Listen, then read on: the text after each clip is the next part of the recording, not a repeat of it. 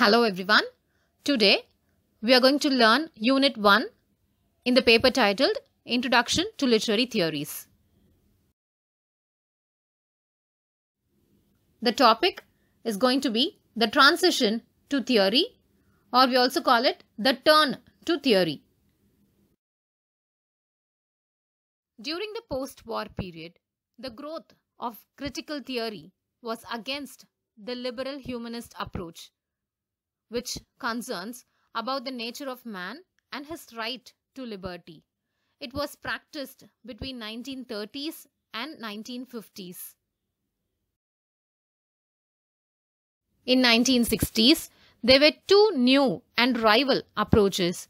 The first one was Marxist criticism, which began in 1930s and re-emerged in 1960s. Marxist criticism tells about the class, political and economic struggle. The second approach was psychoanalytic criticism, which tells about human behavior, particularly on conscious and unconscious mind. There are two other new approaches. The first one was linguistic criticism during early 1960s, which concentrates on the use of language in text. The second one was feminist criticism, which began by the end of 1960s. The new critical approaches, structuralism and post-structuralism began in France. In 1970s, it spread to Britain and United States.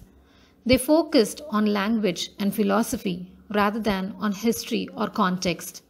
The effect of these approaches were so powerful in late 1970s and early 1980s. The situation was therefore frequently referred as crisis of civil war.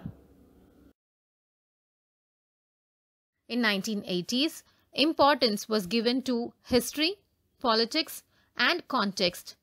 Therefore, it paved way for two new forms of political and historical criticism. The first one was New Historicism, which began in United States, and the second one was Cultural Materialism, which began in Britain.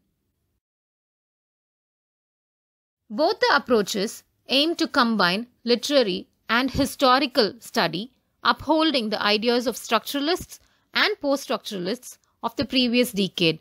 So, they had a holistic approach to literature.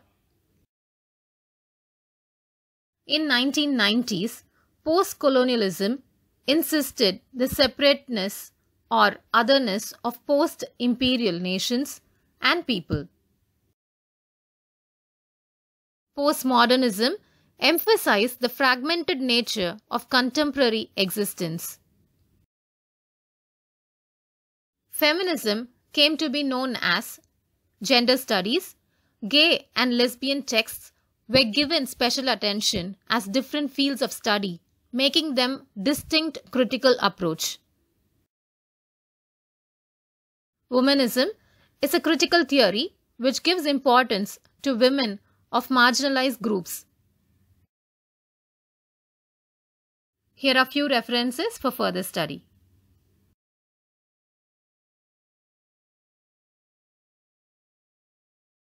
As always, thanks for listening and thanks for your time. Thank you.